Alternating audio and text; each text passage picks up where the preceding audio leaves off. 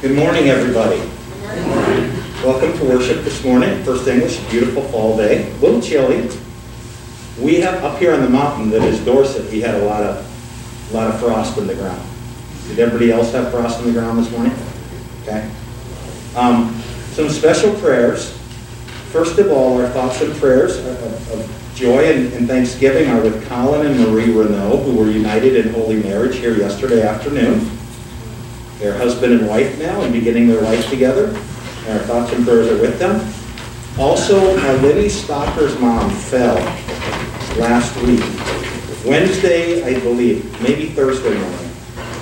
And they don't know what the reason was. She was checked out the hospital. They couldn't find anything, but they are suspicious of some cardiovascular things. So she's going to have more testing done. So our thoughts and prayers are with, with Lenny's mom and the whole family. And also our thoughts and prayers are with the President of the United States and his family, um, going through the coronavirus and, and hopefully, prayerfully, he will be better and all those that apparently have it now that were around him. Um, and we also say a prayer for those people who wish him dead. It, it just saddened me that, that, that some very prominent people, you know, this dumb Twitter stuff. I don't know, you guys, that this, should we want to do away with Twitter? I mean, I just, should we just want to do away with the people that are coming out and, and hope, praying for the coronavirus and praying that the president dies and, you know, that, we pray for them too because their hearts are in a bad place. So lots of prayers are needed this morning, as always. We take all our prayers to our, our Lord, knowing He hears and answers them according to His good and gracious will. And we begin this morning by singing our opening hymn, Lord Jesus Christ, be present now, hymn 902.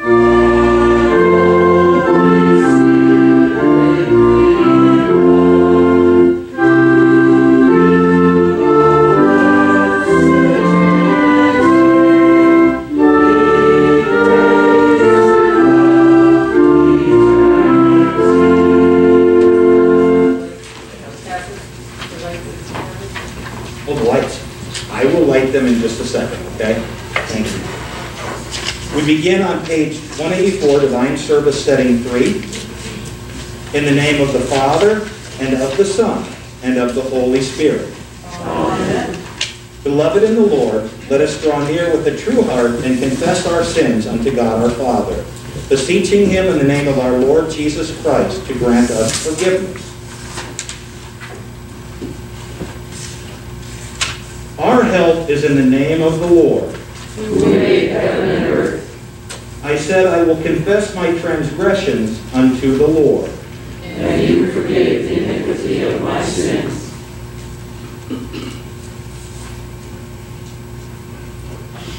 O Almighty God, merciful Father, I, a poor miserable sinner, confess confess unto you all my sins and iniquities, with which I have ever offended you, and justly deserve your temporal and eternal punishment. But I am heartily sorry for them, and sincerely repent of them. And I pray you of your boundless mercy, and for the sake of the holy, innocent, bitter sufferings and death of your beloved Son, Jesus Christ, to gracious and merciful to me, a poor sinful.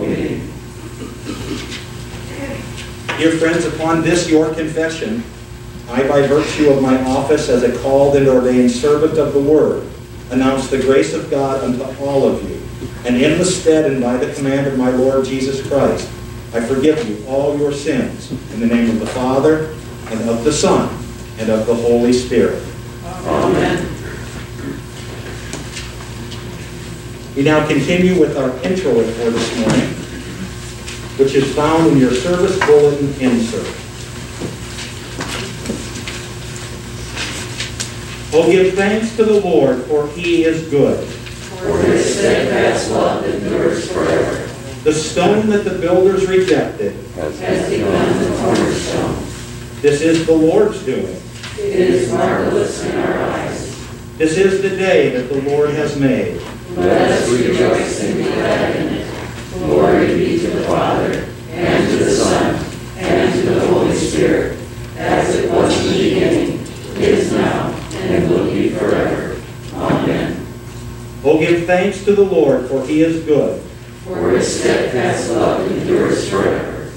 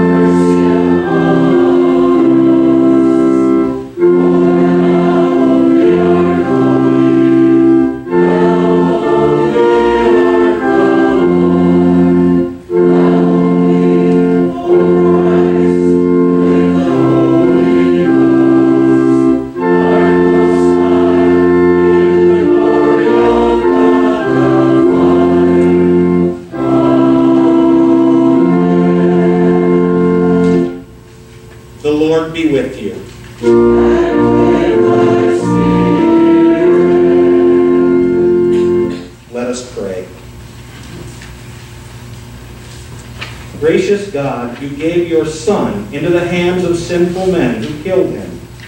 Forgive us when we reject your unfailing love, and grant us the fullness of your salvation through Jesus Christ, your Son, our Lord, who lives and reigns with you and the Holy Spirit, one God, now and forever.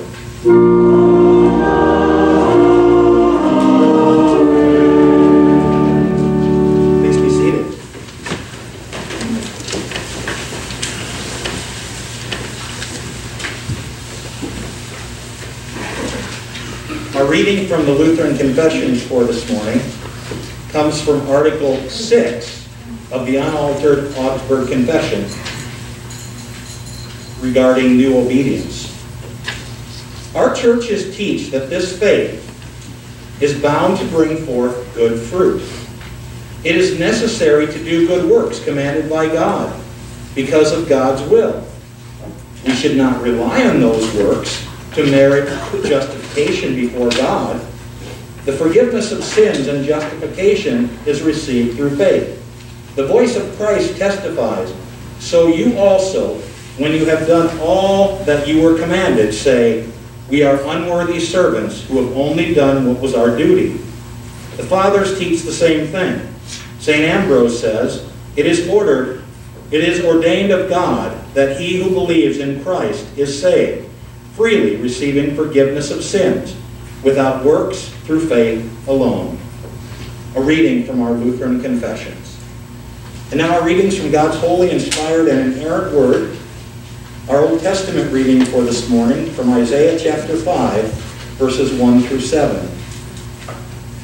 Let me sing for my beloved my love song concerning his vineyard. My beloved had a vineyard on a very fertile hill. He dug it and cleared it of stones and planted it with the choice wines. He built a watchtower in the midst of it and hewed out a wine vat in it, and he looked for it to yield grapes, but it yielded wild grapes. And now, O inhabitants of Jerusalem and men of Judah, judge between me and my vineyard. What more was there to do for my vineyard that I have not done in it? When I looked for it to yield grapes, why did it yield wild grapes? And now I tell you what I will do to my vineyard. I will remove its hedge, and it shall be devoured. I will break down its wall, and it shall be trampled down. I will make it a waste, and it shall not be pruned or hoed. And briars and thorns shall grow up I will also command the clouds that they, that they rain no rain upon it. For the vineyard of the Lord of hosts is the house of Israel, and the men of Judah are his pleasant offering. And he looked for justice, but behold bloodshed, for righteousness, but behold an outcry. This is the word of the Lord. Thanks be to God.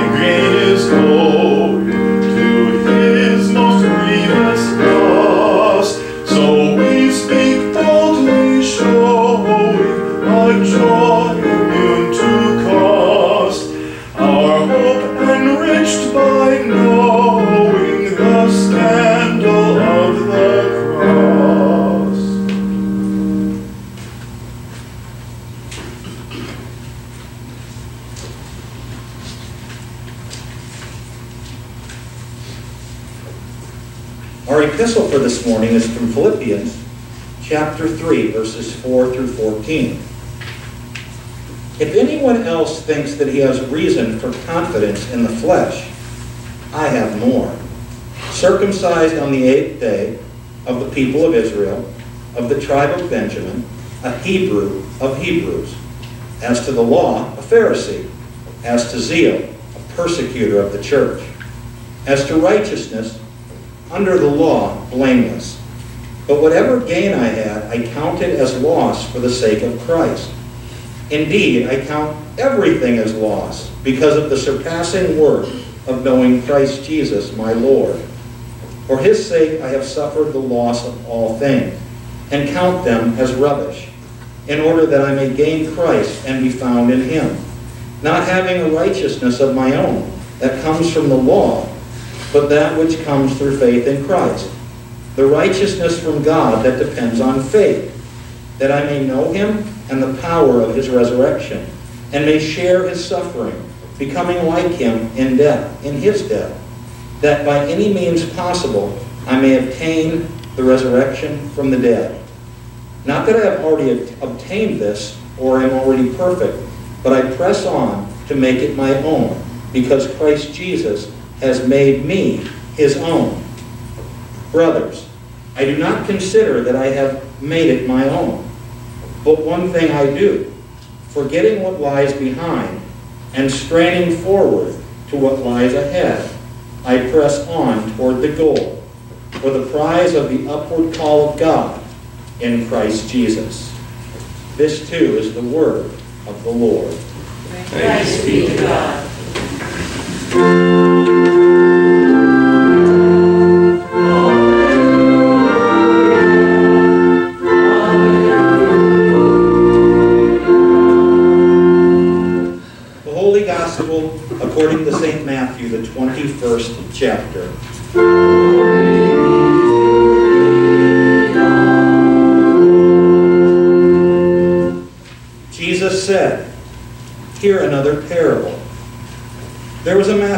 A house he planted a vineyard, and put a fence around it, and dug a winepress in it, and built a tower, and leased it to tenants, and went into another country.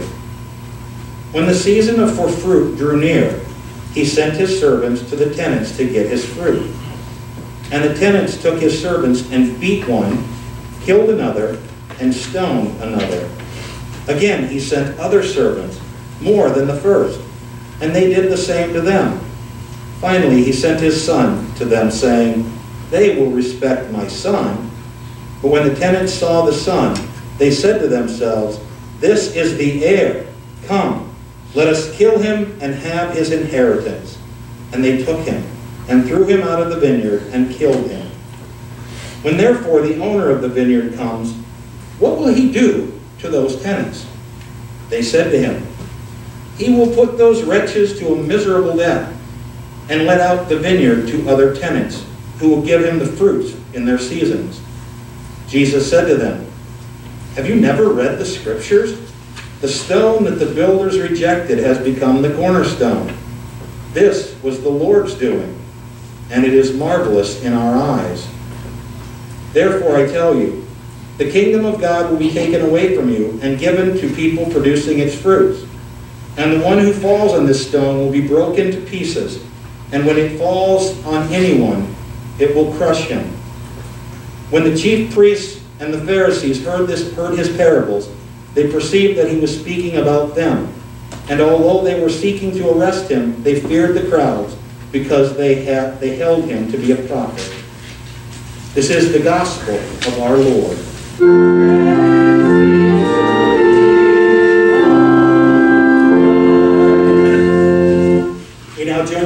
Confessing our faith in the words of the Apostles' Creed. I believe in God, the Father Almighty, maker of heaven and earth, and in Jesus Christ, his only Son, our Lord, who was conceived by the Holy Spirit, born of the Virgin Mary, suffered under Pontius Pilate, was crucified, died, and was buried. He descended into hell. The third day he rose again from the dead.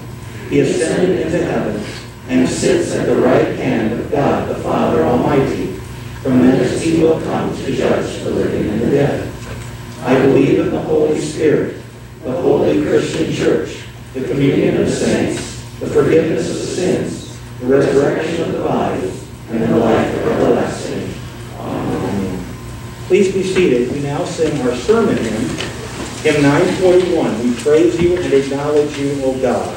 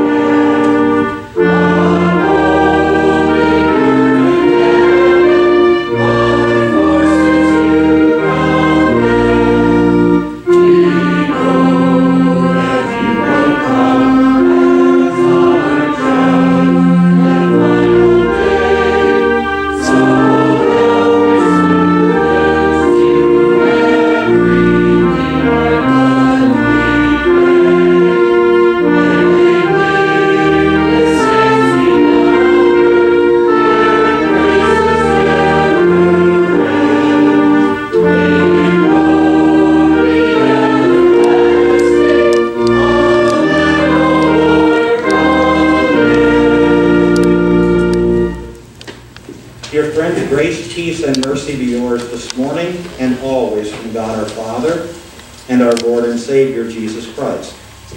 Amen. Our text for this morning comes from the parable of the vineyard and the tenants. And I want to read a good portion of that again for you. Here another parable. There was a householder who planted a vineyard and set a hedge around it, and dug a winepress in it, and built a tower, and let it out to tenants, and went into another country. When the season of fruit drew near, he sent his servants to the tenants to get the fruit. And his tenants took his servants and beat one, killed another, and stoned another. Again, he sent other servants more than the first, and they did the same to them. Afterward, he sent his son to them, saying, They will respect my son. But when the tenants saw the son, they said to themselves, This is the heir. Come, let us kill him and have his inheritance.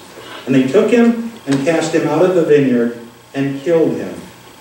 When therefore the owner of the vineyard comes, what will he do to, the tenant, to those tenants? They said to him, He will put those wretches to miserable death and let out the vineyard to other tenants who will give him the fruits in their season. Jesus said to them, Have you never read the scriptures? The very stone which the, the builders rejected has become the head of the corner, the cornerstone. This was the Lord's doing, and it is marvelous in our eyes. Therefore I tell you, the kingdom of God will be taken away from you and given to a nation producing its fruits. Have you ever known somebody so foolish? Have you ever known somebody as foolish as the tenants in this parable? Just think about it. Just think about their behavior. The owner of the land sets up a vineyard, does all this work, builds walls around it, makes it produce and be fruitful and put plants a vineyard and brings water into it and all this. And then the owner, the one whom it belongs to, goes out and he brings people in to make them a part of his vineyard and tells them to work and that he will come to gather the fruits when the fruits are ready. Seems like a pretty standard contract operation, right? Okay? You own something, you hire people, you set the rules, and the people follow the rules and respect you as the, the owner, the one that gave them the opportunity, or they get thrown out, right? Well, think of what the parable tells us. The people who should have understood these very clear rules, when the owner of the vineyard sent his servants to gather the fruit, the wine, the grapes of the vineyard, the tenants, instead of doing what they were obligated to do, respecting his laws, respecting his rules, respecting the owner of the vineyard, they mistreated the tenants. In fact, mistreated them terribly. Beat one, killed another, and then stoned a third. And stoning could often result in death anyway, so this was a terrible thing. Have you ever seen anyone so foolish? Well, then the owner of the vineyard sent more tenants, thinking, surely, surely my tenant, or my, sent more servants, surely my tenants can't be this foolish and, and this disrespectful and this, this bad in failing to recognize that I'm the owner and that, that I've given them all they have. So he sent more tenants into the vineyard. Or more, or more servants, excuse me, to the tenants. And they did the same thing. They did the same thing to those servants that they did to the first. Well, then the owner says, you know what? I'm going to send my son. Certainly, certainly they will respect my son. And they will treat my son with respect, and they will give him the fruits. They will show him that they understand the obligations and they respect me as the owner. And they understand the rules and the, and the requirements for living in the vineyard. What did they do? They killed the son. Have you ever known anyone so foolish? Isn't it crazy? I was listening to a podcast the other day about this particular text and something I didn't know, put it in context for the people that lived in that time. Possession was really nine-tenths of the law in those days. If you, if you had possession of it, you really had it. So that adds a little bit of understanding to how foolish and why these tenants would have been so foolish. In their mind, they thought if they could get rid of the servants of the owner and get rid of the son who was the heir to the property, then they could have the property, the vineyard, and all its fruits, all for themselves. That adds a little context into what they might have been thinking, but still, have you ever known anybody so foolish to do this? But Jesus asks the question after he tells the parable. And he says to the people listening, What do you think the owner, the householder, should do to those tenants that didn't respect the owner and didn't respect his rules and his law and didn't respect his son? What do you think he should do to them? And the people listening, interestingly enough, those listening said, Oh, he should take them and kill those miserable wretches and throw them out of there. Right? But we're told after the parable, the Pharisees were listening. The Pharisees were listening and they got wind. We think he might be talking about us. Oh no. Have you ever known anybody so foolish? Well, we know what this parable means, right? This is a parable that's not all that hard to figure out. God is the owner of the vineyard, the owner of everything, right?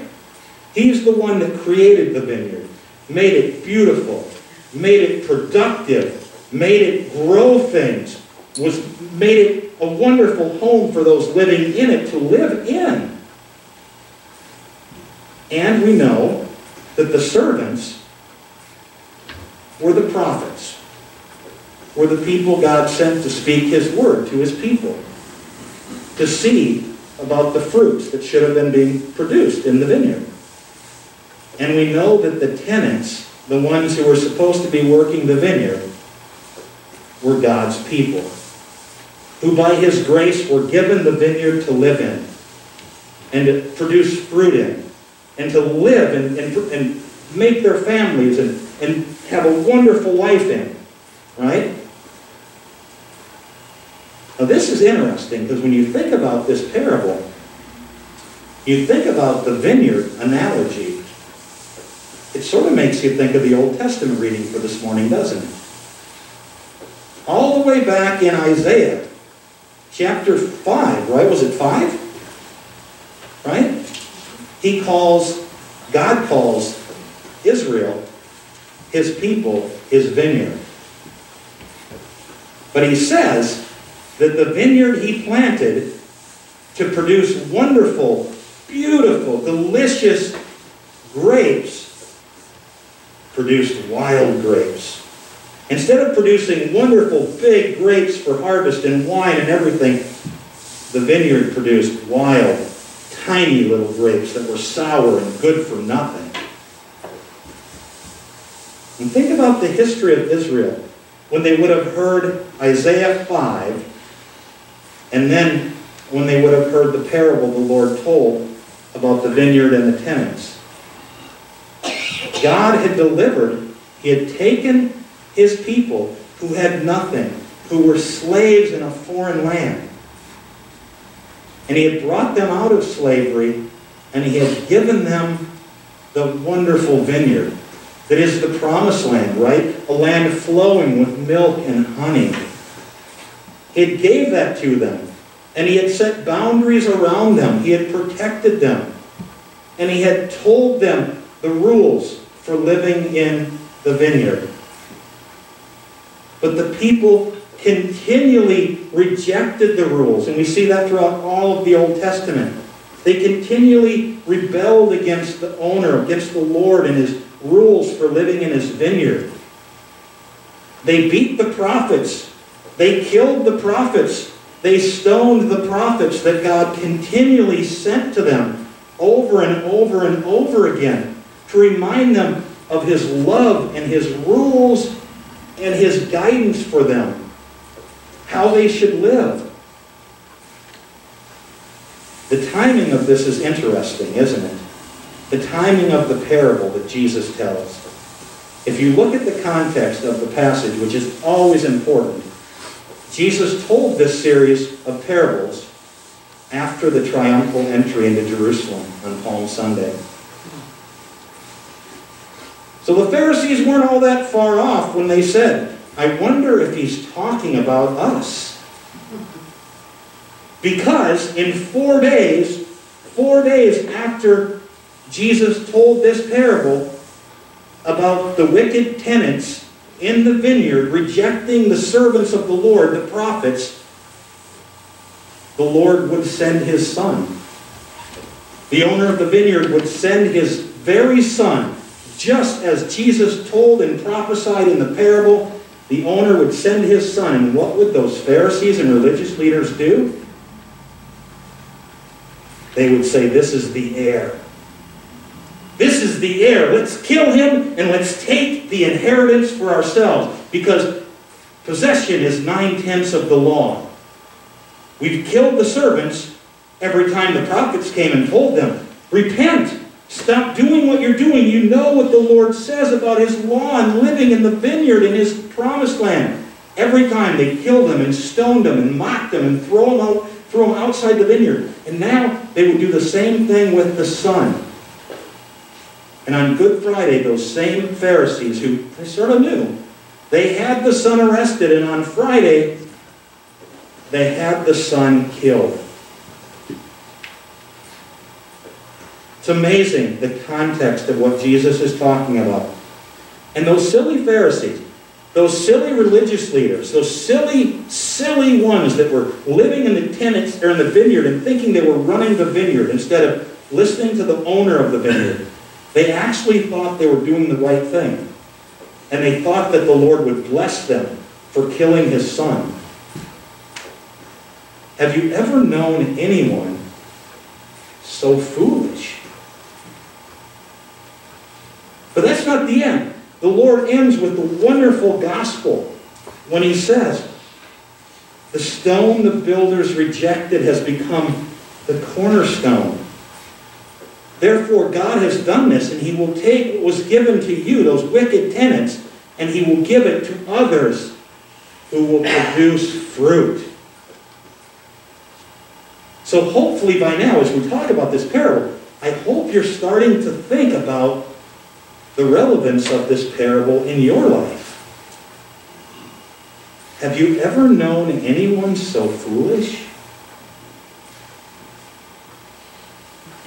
Now think about who did God give the vineyard to? Who did the Son take the vineyard, the promised land, the kingdom, and give it to? Us. All those who were outside of it, who the tenants at the time thought could never amount to anything because they weren't God's special people. He gave it to the Gentiles. He brought the Gentiles in. And he did this by bringing them in by baptism, by building a wall around them, by putting them in this promised land where he feeds them with his grace and mercy, with the grapes, the wine that become his very body and blood. His word sustains them and forever lifts them up and reminds them of his love. Dear friends, we have now been brought into the vineyard. We're the ones living in the vineyard. By God's grace, we're the tenants of the vineyard now. But oh, the relevance of the parable. Have you ever known anyone as foolish as those tenants? They rejected the laws of the Lord, the laws of the owner of the vineyard, and they rejected his son and they lost the vineyard. Putting in modern terms for us, 21st century confessional Lutherans, They rejected the law and the gospel. They rejected the law and the gospel and they lost the vineyard. They lost their ability to live in the vineyard and to receive everything that the owner of the vineyard gave them out of his grace and love and mercy. So, where this parable becomes relevant for us today, we want to beware of ever becoming such foolish people. I want to realize that those silly, foolish people that say, I'm a New Testament Christian, I pay no attention to the Old Testament, they're in great danger. Because the tenants in the Old Testament, they were saved by the same thing that those of us, the tenants in New Testament times, are saved by. Faith in the coming of the Messiah. The people in Isaiah's day were saved by the coming of Jesus and believing in the coming of Jesus. The coming of the Son who would die on the cross for their sins. Just like those of us, you and me, who by God's grace are tenants in His vineyard now, we're saved by the coming of the Messiah, the coming of the Son, our Lord and Savior Jesus Christ, who died on the cross for our sins. But back to the question, have you ever known anyone so foolish? How would anyone ever reject the law and the gospel? How could they ever reject the, the law of the owner of the tenant and reject his son? Well, sadly, it happens all the time in our world today where people, they reject the law of the Lord by holding on to sin. By holding on to sin and failing to repent of that sin. It's just that little sin in my life. It's just that little sin that I that I sort of like, I struggle with, but I sort of like it. And it's that little bit of addiction in my life, that little problem, but nobody really knows about it. Nobody understands it. It could be gossip. It could be lust. It could be addiction. It could be hatred that we turn into justification for our feelings. So many of these things. So many of these things that we figure, I, am a good Christian. I can be a good Christian too. I, I, I just, I can't stop feeling the way I do about that person. I just can't. Because they're a bad person. And the Lord knows what they did to me. They're, they're deserving of my feelings towards them. But otherwise, I'm a good Christian. I go to church. I go to church and I pay my taxes and I'm a good citizen and I care about people generally, except that, that person that just did that wrong to me. I can't get over that. No way I'm, they were wrong, and the Lord knows they were wrong. Or the man who looks at pornography secretly, good man. He, he's a good man, he, but the relationship in his marriage is not what it used to be. And he struggles with those feelings, and he does it privately. He does it privately, and he doesn't think anybody has to know. And he's a good person otherwise. He's a good person. He goes to church. He pays his taxes. He's a good neighbor, good citizen, good Christian. Except for that one little thing, but that's just a little thing. Now, we could talk about this for 20 minutes, and my sermon would get way, way, way too long, right? That's what happens. Have you ever known anybody so foolish? And it's not just individuals. Churches can do this too. By starting to downplay the law of Christ. And it might look something like this. It might look like, you know, we need to stop preaching the law. Because the law makes people feel bad. And you look out at our pews, our pews aren't so full anymore. And the checkbook's getting a little tighter in church, and we need people in church. And we want to reach out to people with the gospel, so we just don't talk about the law anymore because the law might hurt people's feelings and might keep people from coming and being a part of our church. And we can't afford that.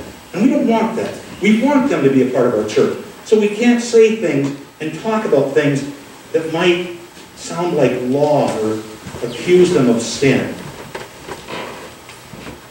Or then there's churches that they say they're Christian, They have Christian on the outside, outside their, their church, but when it comes to acknowledging and professing before man that Jesus is the only way, the way, of the truth, and the life, and that no one comes to the Father except through Him, they start to downplay that because that doesn't sound open and loving and diverse and tolerant and all those things that the world's telling us we have to be.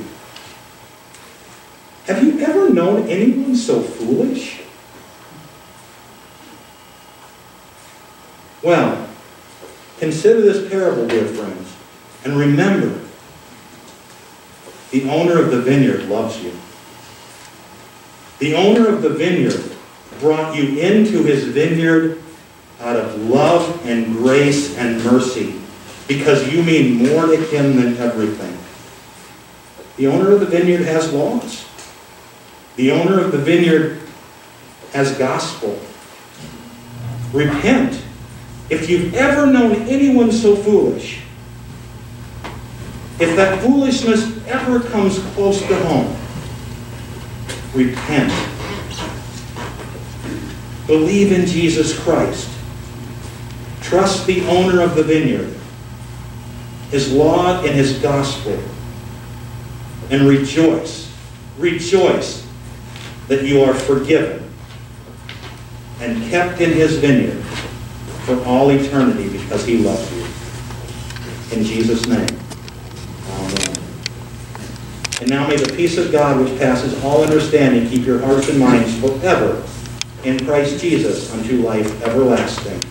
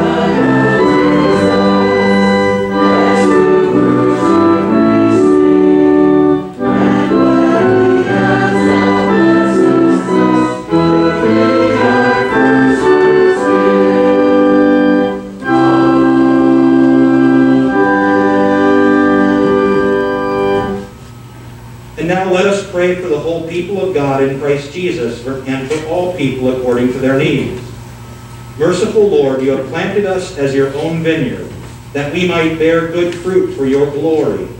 Grant to us grace that we may be faithful and show forth in our lives the good works that glorify you and serve your purpose. Lord, in your mercy, Gracious Father, embolden us by your Spirit, that we may give witness to your mighty acts. Bless the missionaries who bring the gospel to people who have not heard, and raise up faithful pastors who will nurture the congregations in their care with your word and sacrament. Give us ears willing to hear, minds willing to be instructed, and hearts willing to trust you in all things. Lord, in your mercy, Holy Lord, rescue us from all enemies of your church, and bless us with church leaders whose voices will not waver in the face of threat. Bless the president of our synod, our district president, our circuit visitor, our pastor, and all pastors. Inspire men and women to go out into church work vocations and bless those preparing for church work. Lord, in your mercy, Mighty Lord, give to the nations both the desire for and the blessing of peace. thwart the actions of terrorists and those who would oppress with power and fear. Bless Donald, our president, and all he's going through right now and his family, our governor, and all who pass, enforce, make, and judge our laws. Spare us from disease and fear, deliver the poor from want, and help us to provide jobs and worthy employment for all. Lord, in your mercy, Hear our prayer. Everlasting Father, guide, guide husbands and wives to love and forgive each other and strengthen them in their life together. Bless the homes in which your people dwell. Help parents to be faithful examples for their children and give room in their hearts and homes so that orphans may know the joy of a place and a home to call their own. Lord, in your mercy. God of love, deliver the sick from their illnesses, give relief to the suffering, help to the troubled, to know the peace of mind, to know peace of mind, and be with the grieving and those in their final days. Guide all healthcare professionals and serve them in their need, and give patience to those who must bear with their infirmities, disabilities, and infertility. Hear us especially as we pray for those we mentioned at the beginning of service this morning, and those we now name before you, Lord, in our hearts.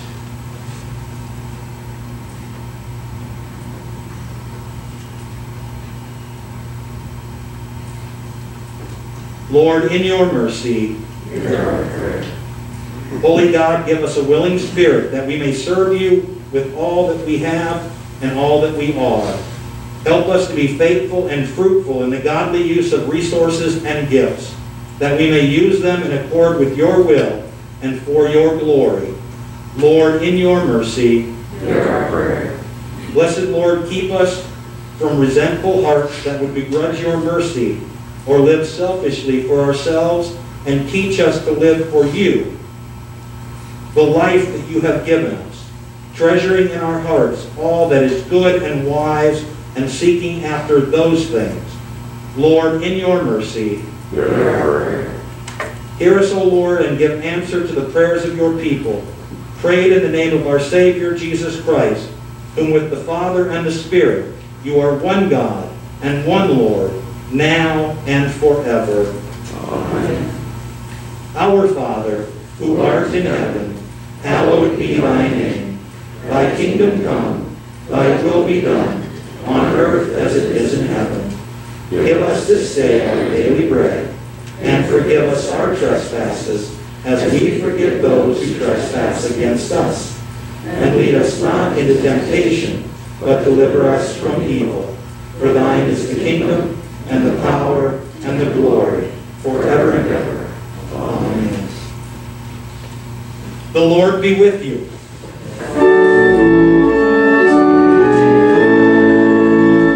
Bless we the Lord.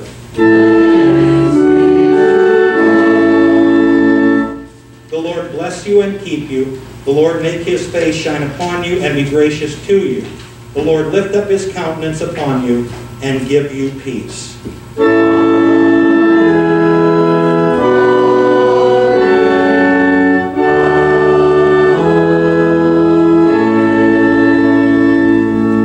Please be seated as we sing our closing hymn, Lord dismiss us with your blessing, hymn 924.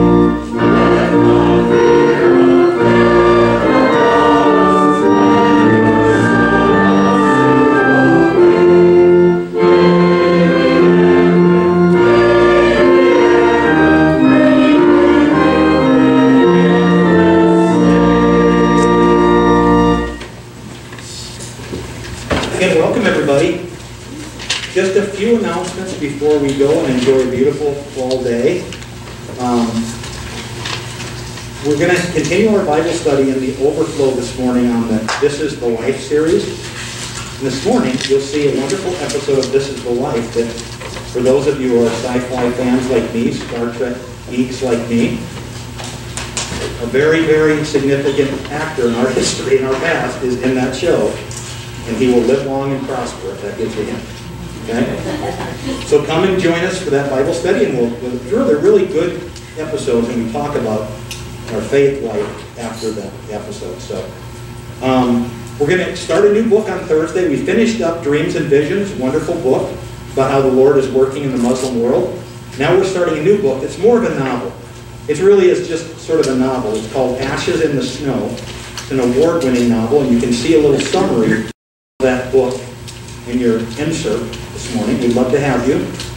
And the group has thought about the idea, when we get to the close to the end of this book, we're going to ask the congregation for suggestions of possible books we could read next, because we want more of you to come and be a part of our book reading group. So be thinking about a book that would be appropriate for a book reading group in the future, and we're going to ask your opinion.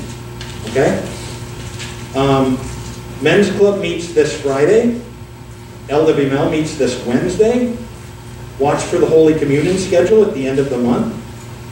Tuesday, Wednesday, Thursdays now instead of Tuesday through Friday, and only 10 o'clock and 6 o'clock because nobody's really signing up at 2 o'clock in the afternoon. And I guess that's all I have. Anybody? Rick? Oh, the potatoes. Thank you. Daisel and Renee picked, the- went out and picked up a bunch of potatoes, and they're sitting in a sack out here, and they want the congregation to enjoy them. So as you're leaving and you want some potatoes, feel free to grab some potatoes. Okay? And, and say a prayer of thanksgiving to Daisel and Renee. Book of Concord, the kids are having the, the- having their, their studies, so remember to bring your Book of Concord. Okay? Anything else? Well, have a wonderful day, guys. God bless, stay safe, and bask in the grace of our Lord. God bless.